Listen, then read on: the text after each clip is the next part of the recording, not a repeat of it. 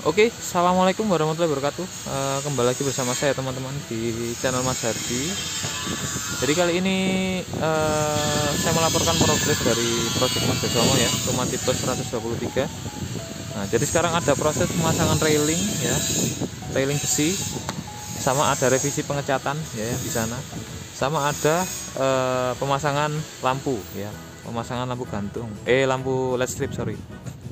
Nah, jadi uh, beberapa peng, apa tembok-tembok uh, yang masih kelihatan kurang rapi kita rapikan ya. Terus habis itu pemasangan railing hari ini progres. Nah, seperti ini ya teman-teman. Tampak depannya ya. Oke kita intip ya. Nah dari samping ini kita bisa lihat karena ini dua muka ya nah, kita bisa lihat di sini. Bagus sekali simple minimalis sama ada pemasangan kaca sorry. Pemasangan kaca depan. Ya. bisa dilihat pemasangan railing. E, minimalis simple. Ya ini ada untuk ini untuk untuk atas ya mas ya? Railing sama ini. Balkon ya? Ini untuk balkon. Nah, ini untuk pagar.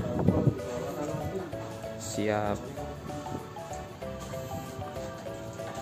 Oke, terus masuk ke dalam. Nah, masuk ke dalam. Bisa kita lihat ada pemasangan ya, teman-teman. Nah, pemasangan uh, railing tangga ya. Railing tangga simple minimalis. Terus uh, di sini lampu juga sudah dipasang ya, lampu lampu sudah dipasang.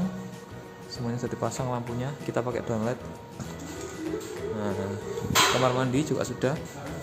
Kamar mandi kita pasang lampu ya. Sudah selesai. Nah ini pemasangan railing. Pak Amit gak Pak G